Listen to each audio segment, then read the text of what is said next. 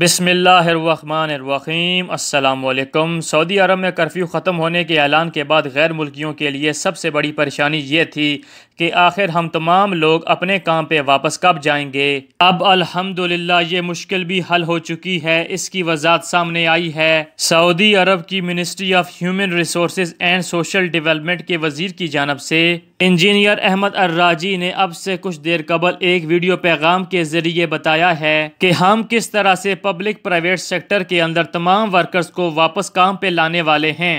तो इंजीनियर अहमद अर्राजी ने कहा कि हम आठ शवाल, यानी कि इतवार आठ शवाल से तमाम प्राइवेट सेक्टर्स में उनके वर्कर्स की वापसी का अमल शुरू कर रहे हैं और ये 22 शवाल तक हम पूरा कर लेंगे।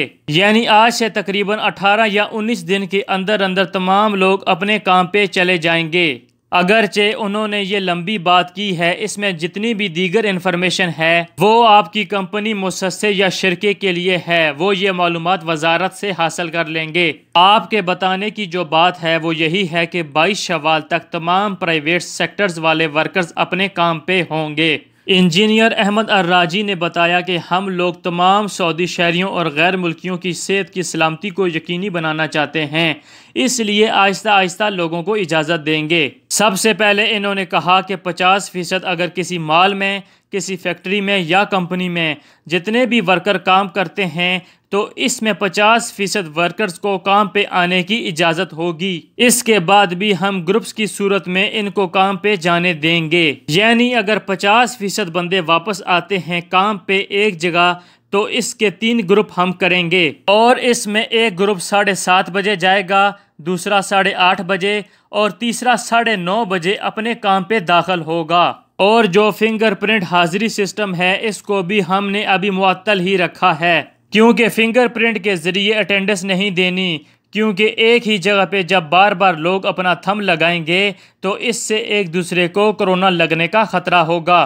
तो इस अहम खबर का ऐलान कर दिया गया है सऊदी वज़ीर के जानब से, और जितने ऐसे सेक्टर हैं जिन पे पाबंदी है कि वो अभी नहीं खुल रहे, इनके मतलब अभी कोई बात नहीं की गई। यकीनन बहुत जल्द सऊदी हुकूमत इनके बारे में भी कोई अच्छी खबर सुनाएगी।